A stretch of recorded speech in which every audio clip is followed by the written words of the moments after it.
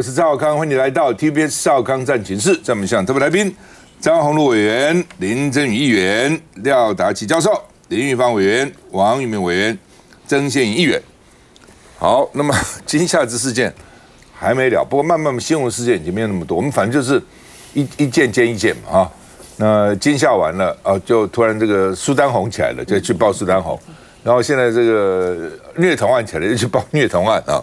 好，金夏事件啊，管碧玲现在本来说你第一时间有人死了，不再怎么样，死者为大，怎么对死者表示一个你说歉也好，遗憾也好，反正就表示一个 这个哀悼的意思嘛。管碧玲说，现在为没收证录影带，让家属煎熬致歉，他一定想半天。我要想这个什么理由，终于想出来一个哦，因为没收证，对，这是错了，对不对？该收证，所以呢，谁煎熬呢？家属很煎熬，家属想知道到底怎么回事啊？为这个事情致歉啊。那等于我我再看，等于间接向世界世界，直接向家属，因为没有录影带致歉。然后呢，现在说直交了哈，宝贝，王林想回家，那你那个你那个尸体还放那边干什么呢？你检方要解剖就赶快解剖嘛，对不对？而且你真的有必要解剖吗？第一时间的时候他们是要把它烧了，说家属反对，所以没烧。那那时候烧了不也就烧了吗？好，那美丽十号，现在在那个地方，家属也想领回去，你也不给他领，那你放在那边做什么呢？哦，我也不懂啊。那下一步到底怎么样？说连金门红十字会意见都分歧了，有的说要介入，有的说不介入，有的说应该应该有红，最早是红会对红会，好，现在说。管碧玲那么强硬，我们红会也没用啊。那红会干嘛介入呢？介入不是这个里外不是人，吃力不讨好吗？所以红会有有意见。不，另外最可恶是王定宇了。你做个立委啊，任何事事情都要实事求是，要再三查证。当时他说这个大陆要我们的海巡人员到大陆受审，所以今天牛许婷啊，小牛就去问管碧玲有这个事吗？管碧玲说外界的诸多描述不尽精确，就是没有这个事情嘛。哦，你看。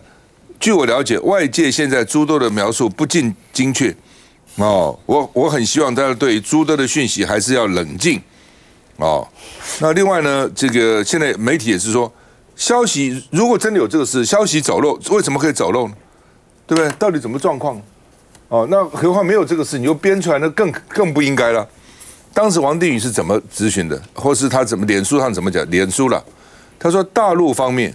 据了解，中国谈判代表提出的要求之一，包括台湾海巡人员到中国接受讯问。当然不可以嘛！我这在这牵涉到主权问题，我们的人怎么会被你讯问呢？那另外，我也不相信他们会提出这种笨问题。大陆可能提出这样的问题，提出来我们也不可能同意啊。那提这个问题干嘛？你提一个对方不能同意的问题，你提出这东西干嘛？哦，那王定宇的消息从哪里来？他应该讲清楚，谁告诉他的？是我们的海军人告诉他的，还是我们检察官告诉他他的，还是我们谈判代表告诉，还是管碧玲告诉他的？你总有个消息来，你自己做梦梦到的，到底怎么回事？哦，而且这个是引起对方也很大的反弹。对方后来说哪有这个事情？没有这个事情嘛？没有这个事情，两岸已经这么敏感了，两岸就是生怕不要有擦枪走火，生怕误会引起升高冲突。那你还火上浇油去丢一个假消息出来，那到底什么意思？哦，我们看一下。大陆船可不可以进入我们的金仙之水域做清淤？不可以啊！不可以，谁告诉你不可以？呃，这是根据《两岸人民关系条例》。行政院长陈建仁、海委会主委管碧玲十二号被询时才明确说出，大陆船只不能经过金门限制水域进行清淤。国民党立委陈玉珍立刻拿出文件驳斥。来，一百零四年十二月十七号开始，十二月十七号开始实施运送客货轮货经过金门限制、金签制水域进入大陆地区厦门港是被允许的，好吗？要处理高速，连两岸的之间的所有的历史的过程，怎么都不了解。陈玉珍出示交通部公告表示，运送客货的船舶是被允许经过金门限制水域进入厦门港。这时站在一旁的陆委会主委邱泰三出面答复：，双方当时现在这个刘武电航道的双方有协议过了。对，允许的吧？所以你怎么没有？邱泰山口中的刘武店航道是自古以来厦门地区各个海港进出台湾海峡开阔海域时最常通航的航道。在马政府时代，两岸协商开放刘武店航道。承建人、管碧玲、邱泰山对于刘武店航道理解有出入外，当天下午海巡署也澄清，挖泥船适用两岸条例，不适用二零一五年公告，因为清淤船不是客货船。而且即便公告内的船舶进入刘武店港区，也要通报，否则海巡船舰会持续驱离。真的让我很感慨啊！台湾的一些官员啊，一些部门经常搞不清状况。呃，刘武店航道数据，我可以明确的告诉你，这是常规。大陆渔船反腐两死案，让金厦海域紧张情势升温，也让刘武店航道争议再起。好，这个什么叫刘武店航道？航道哈？那这个是大胆二胆在我们这里。那这个刘武店航道呢，是一个挖泥的一个航道，这是在厦门岛，好像明明清还是还是大概明清时代，那时候一个姓刘的在这个岛里面开了五间店，所以就叫做刘武店，所以这个航道就叫刘武店航道。每三年大陆会过来清一次，就是清淤了啊。那我们说不行。后来又说可以了哦，都自己搞不清楚，你知道吗？后来呢，海委会又说是正常的周期作业，就三年清一次嘛。所以大陆官员才会说，你们自己都搞不清楚，你们历史什么你都不搞不清楚，每次乱讲一通等等。来，一方兄，这样子啊，这个我觉得管碧林啊这一番话哈，是迟来的正义了啊。你当时我们就建议说要道歉，不管怎么样，人家死了哦。人家家属那么悲痛，表示一个歉意嘛，啊，对人道的关怀嘛，啊，民进党不要，到现在才讲。你要知道，人家讲过去啊，是是没有错了。英文说 better late than never，有说总比没说好。但也有一句话，迟来的正义不是正义哎。那如果说你搞这么久才道歉，那什么意思啊？对不对？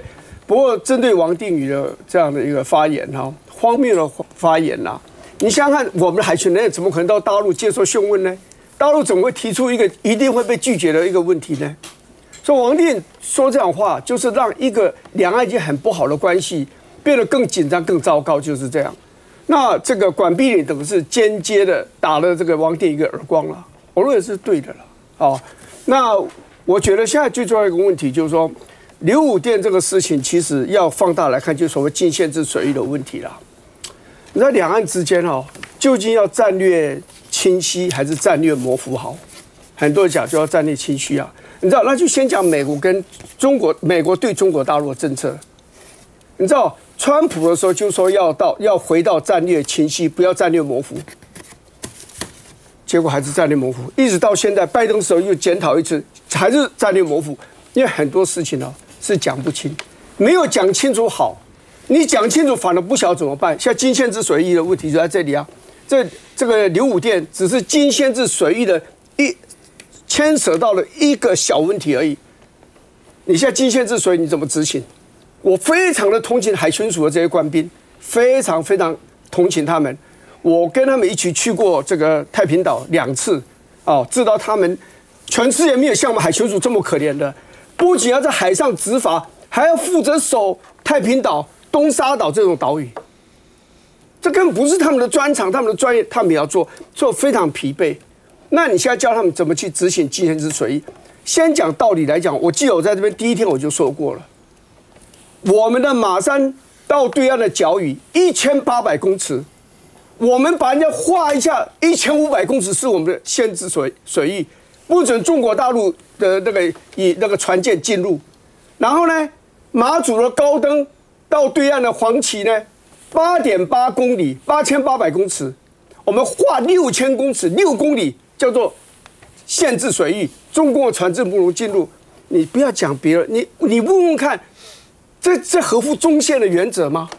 你这你这样搞，大陆也让你搞了几十年，为什么？两岸关系模糊总比清晰好。所以老共就睁一只眼闭一只眼让你过。你像这些搞国台办，你讲了没有禁限制水域？那没有禁限制水域，你要海巡署怎么去取缔进入禁限制水域的中共的船只，不管是渔船、海警船还是军舰？先讲渔船好了，他来一艘你取缔一艘，他如果来十艘，你有办法取缔十艘吗？哎，中国大陆他们的渔船是像队伍一样，是被纳进了他们的民兵组织的这样的一个一一个体制里面的？他可以一次动员。我在金门当兵的时候，老公我说他就搞个晚上说几百条渔船。把金门这样团团围住，哎，啊，偷了五十条渔船，一百条渔船，你要怎么处理？第二个，他如果海警船呢？你要抓他海警船吗？啊，他如果拒绝你抓，你要把他击沉吗？啊，如果他来军舰呢？你说我们现在哦四千吨的那个船，海巡署的船，我们现在有四艘，还要造什么什么？你知道他们三千吨以上以以以上的船啊，就已经几十艘了啦。所以我们怎么跟人家比这个数量？所以我要回过来再讲一句话：两岸的问题是政治的问题，政治问题要有政治的艺术，你一定要把它理得非常清楚。那你现在进限制水域马上就出现一个问题，然后中国大陆把这一次的危机就变成它的机会，它一次就把你宣布禁限制水域不复存在。那你现在我们未来怎么办？来，廖教授，是，呃，我其实我先要说一下啊，刚才我其实听了林玉芳委员讲的这一套新限制水域，还有那个刘武刘刘武店航道。陈实讲，我是今天听了以后，我才知道这些比较细节的海域管理啊，所以我禁不住要同情一下管碧林啊。我简单讲一下管碧林的历史背景，因为他在我们高雄待了很久，他原来也是教授。海委会也在高雄，也是是是是，我就简单讲一下，因为我认识他很多年，管委员哈。那他过去是在我们高雄，他是谢长廷当市长的时候，一九九八年了。他到高雄去，先是做新闻处长嘛，后来又去做了别的事情，所以受谢长廷重视，他也被归类为谢系。那他的个性是蛮敢冲，是那种基本上就是爱表加一样，哈，我就是拼才会赢，但是也蛮识时务的。那所以呢，他在这个谢系里面已经是大姐大了。后来他要争取在高雄市选市长，那就碰到陈局嘛，陈局要刘世芳嘛。我想各位可能还记得，他跟刘世芳跟陈局是硬干。最后他们两个都没有拿到，是陈其迈出来啊，这有一段历史。那他因为在谢系垮了嘛，在民进党里面，那他也不是新潮流的，新潮流陈局这些当然不要他，因为他太悍了，所以他当然后来就靠小英，小英当总统蔡英文就把他把他作为不分区立委，不分区立委他很想当行政官，他是学行政公共行政的，他是台北大学公行系的教授，所以他很想回到行政系统，所以分了半天，曾经希望到教育部没成。那后来，那，现在给他了个海委会。但是诚实讲，我必须说，他跟我一样，对海事其实，即便我们叫教授，我们对海事的了解非常稀薄，要经过林委员的开示才了解这么多的细节。那所以他根本搞不清楚那个金厦航道里面是不是可以直通大陆人可不来。我相信跟我一样，都是在学习当中。所以处理这个事情，他其实对他来讲，我已经超超过他原有知识的负荷。那所以他今天是这时候道歉，不排除第一个是可能第一个他第一时间的反应，那可能跟府方这边是因为还是牵涉到两岸关系还有国家安全嘛哈。那自己他自己的个性上面也是大姐大，所以很冲，还要护卫海巡署人哈，绝对要保护自己的人。那到后来呢，整个情势下来，资讯也多了，我觉得他看到中间危险，还对我们自己自己真的是国防安全，就是刚才林伟云讲的一套，我们讲海巡署在这个区块里面怎么工作。而且，呃，他也开始澄清了，比较恢复到比较像正常教授的身份，比较尊重知识哈，而且开开始了解一些实际的这个状况以后，所以态度也比较缓和。当然，也不能排除，其实，呃，中共这边放的讯息，还有作为上，就是步步紧逼，有软有硬。那我们我相信，我们府方高层也收到讯息，包括邱国正讲，国防部长讲了，他日夜担心。那这些讯息加重起来，他开始做视实务者为俊杰的步骤。开始开始道歉了，我想这是终于回从歪来歪去搞不清状况，进入到要真正面对这个现实，面对这个问题，要提出解决方案，这是我的一个解读。你这你这个解读又勾起我的回忆了。现场挺当高雄市长的时候，因为我在台北嘛，是因为我们老朋友了，议会同仁立委，他也是特别从高雄来台北请我吃饭，两个单独，两个单独大家聊聊，老朋友聊聊天。管碧林的时候就在他做他的新闻处长，这样休息一下再回来。非常受重视。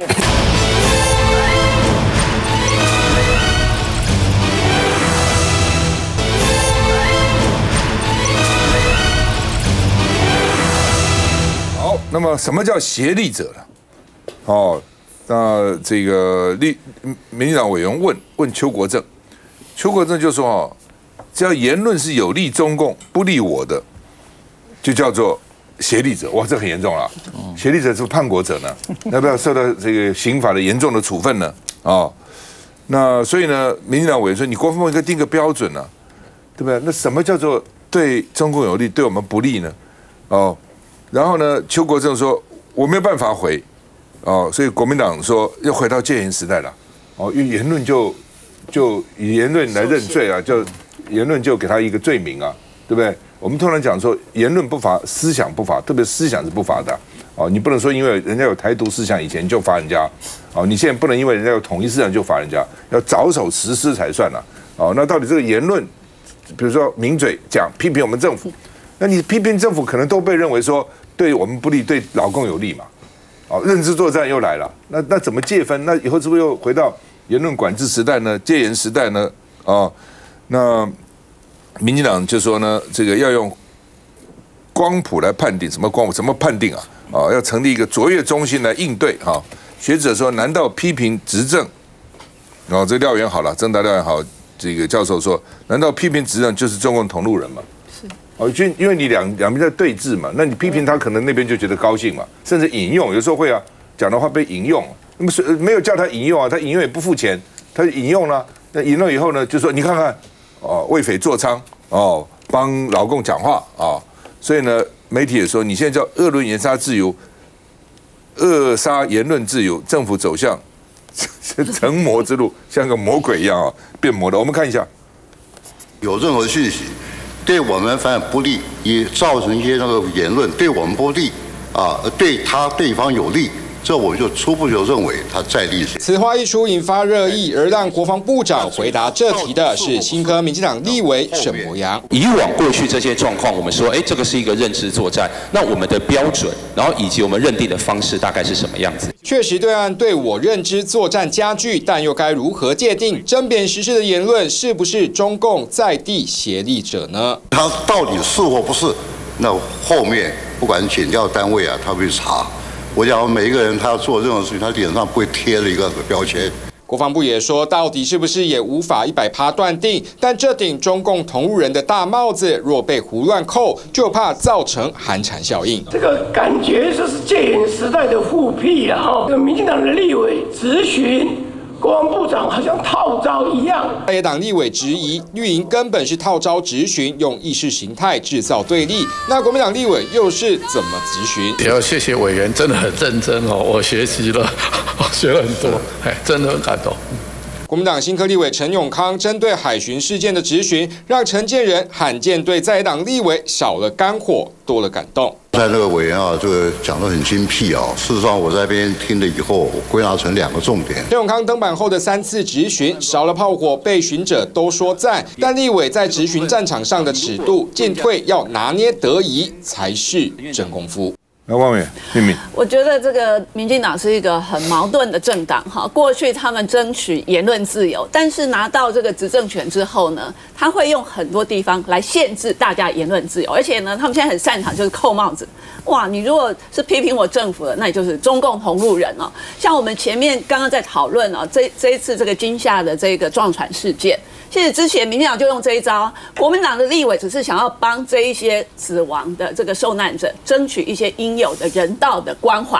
他就说：“你这个就是中共投入人，因为你都是站在中国大陆那边，你没有捍卫我们的海巡人员，就是很多事情没有办法摊开来讲，大家就这个事情距离大家来好好的谈，那马上就扣帽子。所以我觉得民进党他忘记他过去在野的时候，他多么的捍卫言论自由这样的一个精神。那。”这个是权力的魔戒吗？就是拿到了权力、绝对的权力之后，他处处设限。无论是过去这个 NCC 这边的，就去关人家的电视台，还有现在他们的不分区哦，沈博阳这样的言论还一搭一唱。那这个邱国正的言论真的是太简化认知作战了，没有人这样子讲的，就是说对我方不利的这个就叫做认知作战。这个在美国他们的定义不是这样，他是说利用争议讯息破坏社社社会的网络跟深化对立。他是要有这样子的一个过程，不是就你这个言论一出哦，只要有利对方不利我方，那我就说你这个叫认知作战，这个扣帽子真的是扣的太大了。那如果台湾社会要用这样的方式去对立跟分化，难怪我们刚刚在检讨说，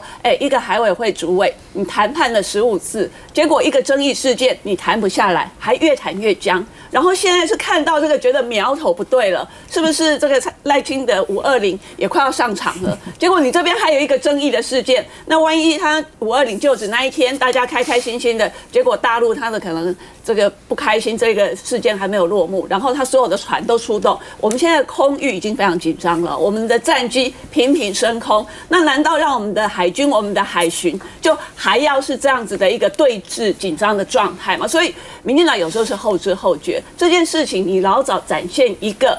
比较是高度的人道关怀，道歉，一切不是从态度出发，愿意谈，那不是一切。我我相信不用经过十五次啊，应该三五次去就可以解决。但是不是他们一下子就是要拉高，然后在这个内政委员会他做什么？哎，管贝你第一时间去开炮这个招委，哎。从来没有一个人会去挑战招伟定出来这个名称，他就一开始就要引火，然后就要引起这么这么大的一个争议，所以你不觉得他很矛盾吗？然后升高到这样子突然收尾，然后就说，哎呀，真的应该要道歉，事隔一个月才想起来要道歉。那我觉得这样子一个做法，其实大家看起来都觉得不是一个成熟的做法，也不是一个让大家值得信任的一个执政党该有的一个做法。执政党最大的目的是什么？帮人民解决问题，不是制造问题。而我们现在看到的民进党，就是没有能力解决问题，但是频频制造两岸的对立跟冲突。好不好？这个夏立言啊，又去呃，今天又去访问中国大陆啊，他去哪里呢？说先到重庆。然后再到成都、济南、青岛这些地方，主要还是去看台商，表达谢意，因为现在跟台商没有什么政府之间没有什么沟通管道嘛，哈。那所以呢，这个他说他没有忍没有办法忍受人家骂我是吴三桂，他吴三桂是手握兵权呐，我不又不是政府，也没有兵权，我我去，对不对？也不代表任何人哈。那我有言论自由，我只是代表国民党去对话。表达对金夏海域事件的看法，他说这个是不是应该的？是我也我不能讲话，不能有意见吗？叫什么吴三桂啊？那陈玉珍就反呛说：那如果下列是吴三桂，民进党就是崇祯皇帝啊！说的不错，做的不错。那另外呢，好，Google 它修正它的这个地图啊，突然把我们的天宫三型的飞弹基地很清楚的都看得到了。那邱国生就说：我们要找 Google 问清楚。你这一清楚的就已经被拍下来了嘛？你就算再把它模糊，也已经对方也知道。其实我认为对方早就知道了，他卫星那么厉害，他会不知道嘛？哈，那我我常常觉得很好笑。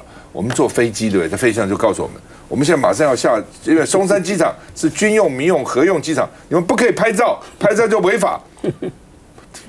现在还要靠在飞机上拍照，这不很无聊吗？听着都很好笑，对不对？然后很多的什么军事重地都不准拍照。不准狩猎，不准一大堆，不准绘图，要什么时代的嘛？还在讲这个东西？好吧。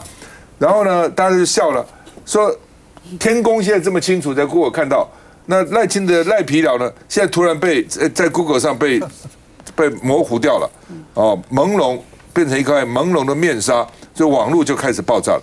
这怎么原来可以看到的，现在看不到了？原来看不到的，现在看到了，到底搞什么鬼？哦，那怎样要去协调谈判吗？另外，台东外海老共舰出没了，我们的海风大队的飞弹发射架突然升高升起来了，哇！老百姓游客也很紧张，说这样要发飞弹了吗？要打仗了吗？哈，到底怎么回事啊？来，这个张伟，哦，我我先说啊，这个像那个邱部长他所说的啊，说什么言论这个，我个人是觉得他可能说的太快，应该行为啦。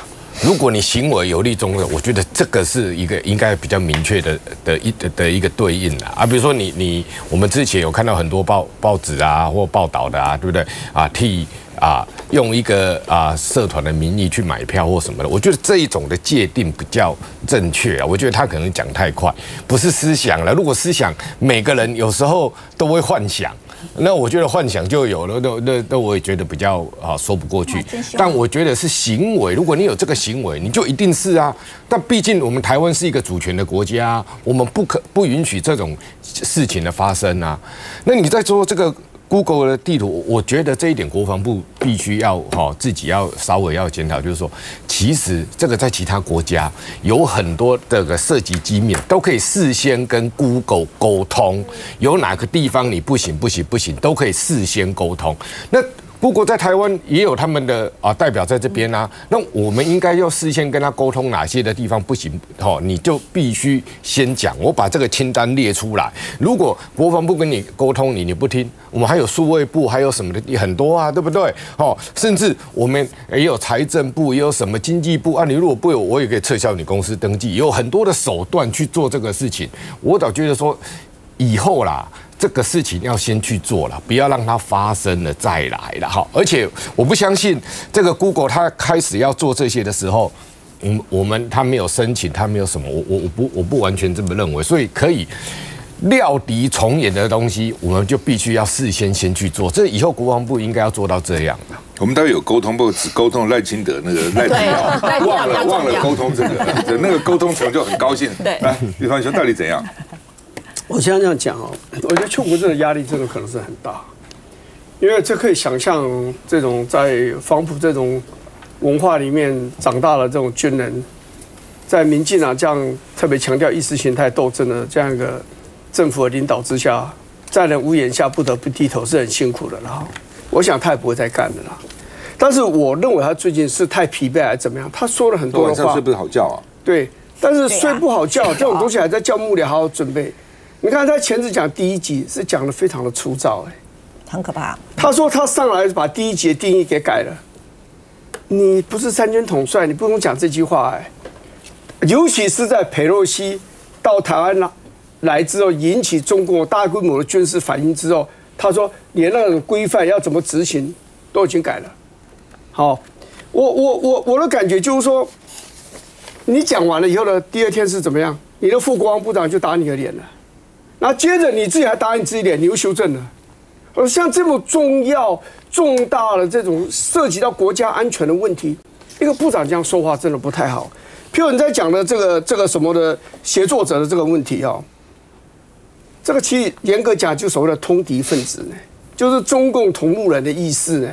你讲说只要对我不利，对对方有利，那我要请问一下，谁来做这个定义？你这个定义？是你部长一个人就可以就可以做吗？显然不是嘛。那你的规定，你你的你的那个那个标准是什么？所以我觉得你部长讲这个话，应该讲说这种东西要有具体的证据，哈，而且要严谨的判断，哈。我在这个地方大概没有办法，呃，就现在就可以回答你。你应该这样子讲比较好，因为第一级这个名词，尤其我回来讲第一级，现在讲第一级是核子战争的概念，就是说你。第一级摧毁敌人的核子的弹药库，当他在反击你的时候，那个反击叫第二级。第二级反击你的时候，他能力降到最低。而且他讲他修改是怎么修改？他说以前是认为是中共开了枪开了炮，这才叫中共的第一级，那我们就要有所反应。他现在改了，只要他的飞行器进入我们的这种，对对，进入我们的。等于是海域空域了哈，然后我们就要攻击。其实这样讲都不对。那敌人有时候第一个很可能这个东西是一个啊误判，也就是说那个机器可能失灵了，中共的无人机可能失灵了，或者他有意在做一个试探，然后你就把它攻强烈的反击攻击。我认为这不见得，不见得是好。你要评估那个威胁的力道有多猛。然后你再来判断你应该做什么样的反应，所以我都觉得国防部长哈，不管你要不要继续做，无论你在立法院在公开的讲这么敏感的国安的这样的一个名词要去定义的时候，真的谨慎小心一点。我还是劝一下邱国正部长，晚上好好睡觉，睡得好是很重要。晚上睡得好，白天那个判断呢决策才会正确。哦，那既然蔡英文、赖清德还有那个国安局长。都睡得很好，那你干嘛睡不好呢？你一个人睡不好有什么用呢？好，休息一下就好了。就我稍微补一下，就。